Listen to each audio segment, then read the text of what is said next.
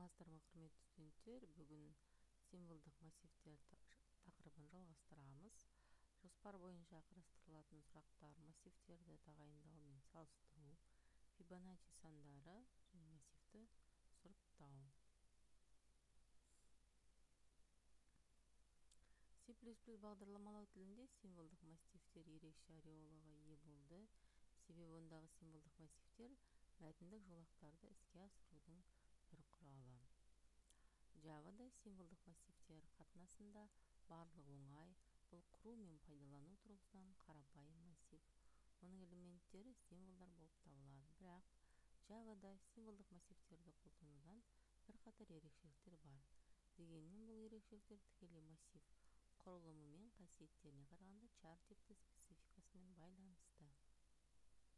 12-те бірлестіңде қарапайым мысал келтірілген. Массивті енгізуге байланысты.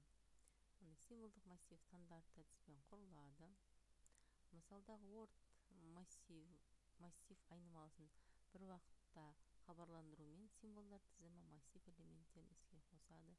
Система out println words командасын орындау нәтижесінде экранға символдық массив хабарламасы шығады. Мұндай жағдай println әдісінің аргументімен символдық массив элементтерінің мәнін шығару үшін массив атауы көрсетілген. Мұндай ыңғайлылықтың себебі әртүрлі нысандарды соның ішінде символдық массивтерді мәтіндік форматқа автоматты түрлендіру әдісі болып табылады. Символдық массивтерді хабарландыру мен пайдаланудың басқа мысал 12 екі листингінде келтірілген. Яғни 12 екі листингі ол сөзді кодтау деп аталынады.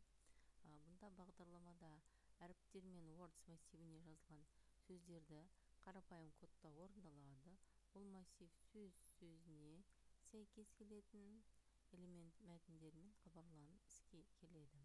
Кейін код тағы бір символдық массив хабарланады. Оның өлшемі орыс массивінің өлшеміне тең код массивінің элементтерін толтыру цикл нұсқаулығының шеңберінде орындалады. Бұл үшін цикл денесінде code i char words i i плюс бір командасы қолданылады. Берілген жағдайда words i массиві қосылған i i плюс бір өрнегін есептеу кезінде i массиві сандық форматқа түрленеді. Оған и плюс бір мәні қосылады. Алынған сан символға түрленеді. Бұл символ код массивіне жазылады. Кейін екі массив экранға шығарылады. Бағдарлама орындау нәтижесінде ә, экранға слово яғни сөз деген шығады. Алынған сөзді шифр, шифрден алу үшін кері процедура қолдануға болады. Массивтерді тағайындау мен салыстыру. Негізінде бір массив басқа массивке егер олардың типтері сәйкес келсе мәтін ретінде тағайындалуы мүмкін. Массивтерді де салыстыруға болады. Бірақ барлық белгіленген операциялар спецификалық түрде орындалады және кейбір дәрежеде таң қалдырмауы мүмкін. Мұндай таң қалдырмауды барынша төмендету үшін массив деген не екен және оның техникалық іске асуы java тілінің синтаксистік конструкциялармен қалай байланысты екенін тағы бір рет тоқталып өтсек.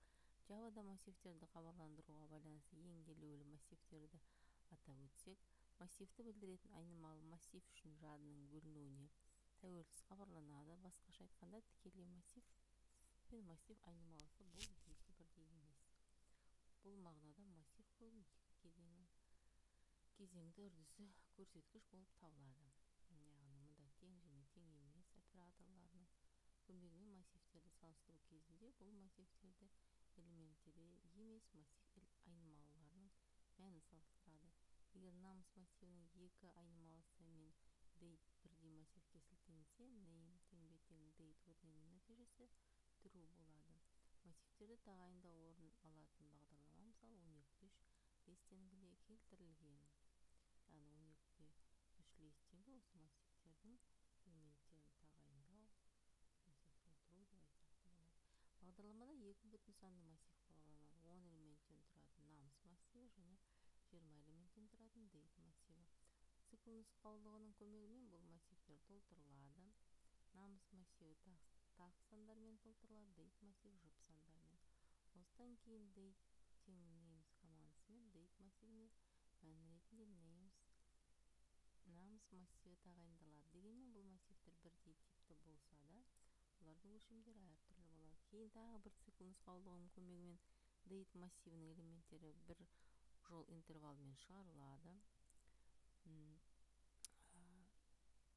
бұл жерде жаңа жолға ауыспау мәнді шығару үшін принт әдісін қолданамыз нәтижесінде келесі сандық қатарды аламыз. Мына экранның көріп тұрғандай бірден бастап он тоғызға дейінгі тағы сандар бұл нам массивінің іске келген массивтер.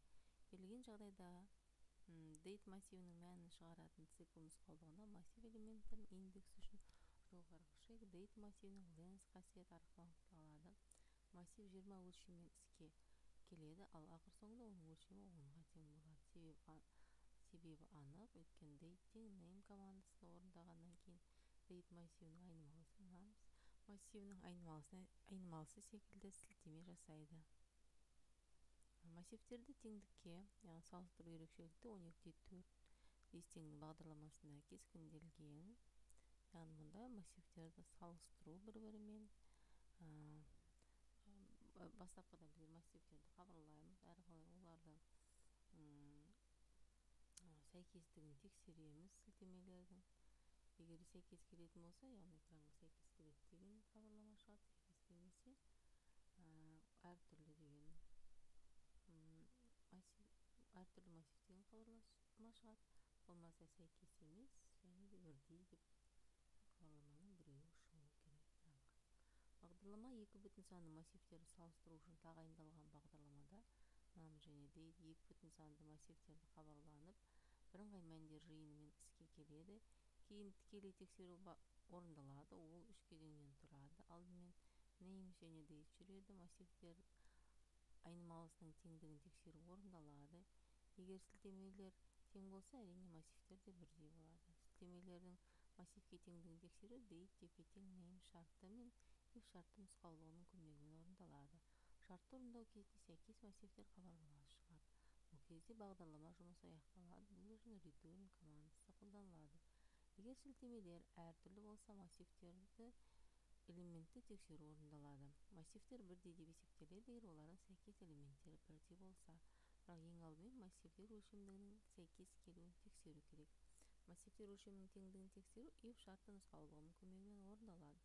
Бұл кезде date length тең емес num length шарты тексеріледі. Егер массивтер әртүрлі өлшемге ие болса шарт шын болып табылады бұл жағдайда сәйкес емес элементтер хабарламасы және бағдарлама жұмысы аяқталады массивтердің сәйкес өлшемдері кезінде цикл жіберіледі. Оның шеңберінде екі массив элементтері салыстырылады.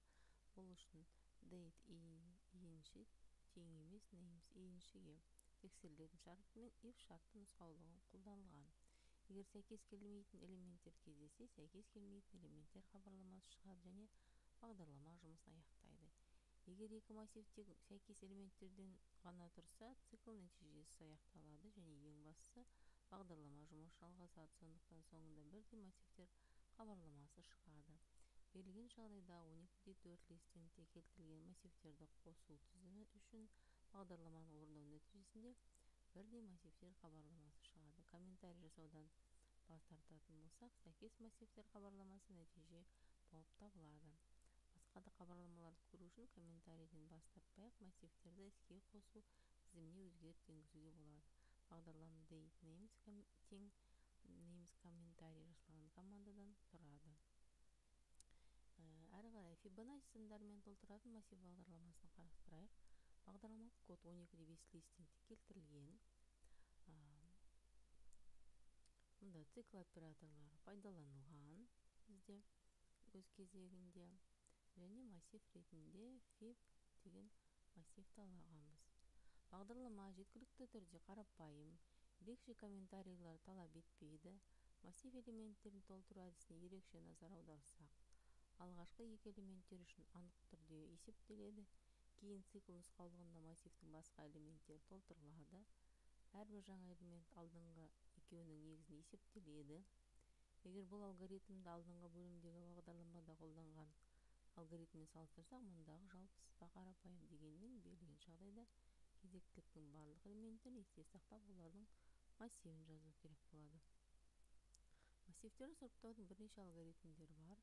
Жеткиликтүү дәрежеде карапайым жана таанымал бирок оңтайлуу эмес түрү бул массивдерди көбүктүк сырыптоо болуп табылат адис идеясы карапайым массивдин бардык элементтери карастырылат ар кез сайын эки көрүнүш элемент салыштырылат эгер төмөндөгүсү үлкөн индекстүү элементтен үлкөн болсо элементтер орун ауыстурат бардык элементтерди карастыргандан кийин эң үлкөн элемент соңку болот келесі сериядан кийин жана көрүнүш элементтерди салыштырган соң шамасы боюнча экинчи элемент дурус орунда оруналат ждб нәтижесинде массив элементтери өзү ирети боюнча иреттелет эгер массивди кем иретинде иреттөө керек болсо массивди карастыруу менен салыштыруу кезинде элементтер орун ауыстурат эгер кичи индекстүү элемент үлкөн индекстүү элементтен төмөн болотун болсо массив элементтерин сырыптоо косулган нускалыктар көмөгү менен иске асат м индекс айнымалысы өтүүлөрдү нөмүрлейт эки көрүнүшлүү элементти